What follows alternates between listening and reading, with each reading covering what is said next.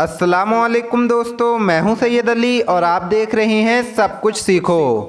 दोस्तों, आज की वीडियो में हम बात करने वाले हैं कि बिजली क्यों कड़कती है। जैसा कि हमने देखा है कि जब बारिश हो रही होती है तो बिजली कड़कती है। तो बिजली क्यों कड़कती है? आज की इस छोटी सी वीडियो में हम आपको यही जानकारी देने वाले हैं। तो इस वीडियो को दिल से लाइक करें और आगे शेयर ज़रूर कर दें। तो चलिए वीडियो शुरू करते हैं। अल्लाह पाक ने बादलों के चलने पर एक फरिश्ता मुकर्र फरमाया है, जिसका नाम रागद है। उसका कद बहुत छोटा है और उसके हाथ में बहुत बड़ा कोड़ा है, यानी उसके हाथ में बहुत बड़ा चाबुक है। जब वो कोड़ा बादल को मारता है, उसकी मार से आग झड़ती है और उसी आग का नाम बिजली है।